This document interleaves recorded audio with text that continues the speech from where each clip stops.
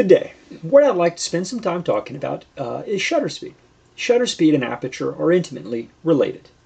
Using both in tandem will allow you to get the exposure you so seek for your digital image.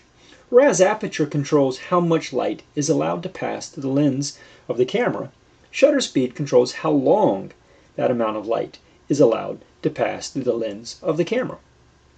There may be a very fast shutter speed, like one one thousandth of a second, or a very slow shutter speed, like one second, or maybe 30 seconds, or in more extreme cases, one minute.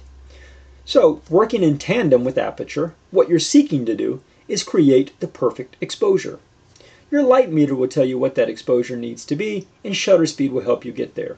Much like aperture, adjusting the shutter speed also affects the end look of the image. So let's talk about shutter speed.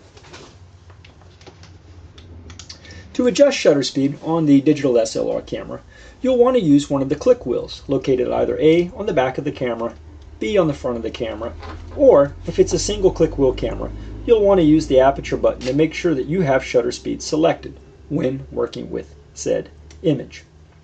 Once you have shutter speed selected, you can adjust the click wheel to either raise or lower the shutter speed you'll see a series of numbers. Right now it says 60, 80, 100, 125, 160, 200, 250, and so on and so on and so on. The larger the number, the faster the shutter fires. Generally, it's thought of as working in a fraction of a second. So if, it, if the screen says 250, it actually means that the lens is firing at 1 250th of a second. If it says 1000, it means that the uh, camera is firing at 1 1000th of a second.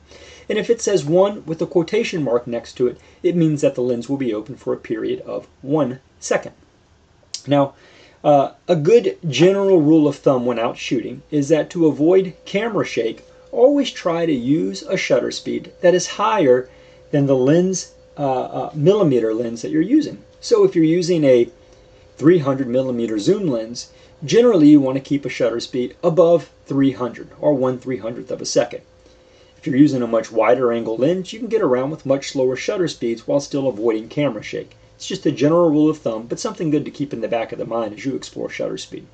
So what impact does shutter speed have on the camera's image? Well, A, the faster the shutter speed is, uh, the greater the ability to freeze time, creating a clear, clear, crisp image.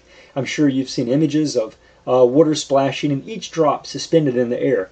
That's going to be an extremely fast shutter speed. An extremely fast shutter speed means that light is only allowed to pass through that lens for a fraction uh, of a second. This generally means that to compensate for the fast shutter speed, or the little amount of time the light is allowed through the lens, you need to be letting a lot of light through the lens during that period. So a very fast shutter speed will oftentimes correspond with a wide open aperture setting so that you have maximum light coming through the lens for a very brief period of time. On the opposite end of that spectrum would be a slow shutter speed. You've probably seen images of rivers, lakes, perhaps the ocean, and the water surface appears to be a blur, almost a mist or a veil as, uh, is sitting upon it. That's created by using a very slow shutter speed. It may be as slow as uh, 2 seconds, perhaps 10, perhaps 30. Uh, again, the scene will dictate how slow the shutter speed needs to be to capture that uh, slick, fluid look. Now again, if you're letting light through the lens for a long period of time, generally speaking, you'll want to let a smaller amount of light through so that the image isn't overexposed or too bright, washed out. So a long shutter speed, 30 seconds, uh, will most often correspond with a very small aperture setting. Let's think f22, f32, somewhere in that line there.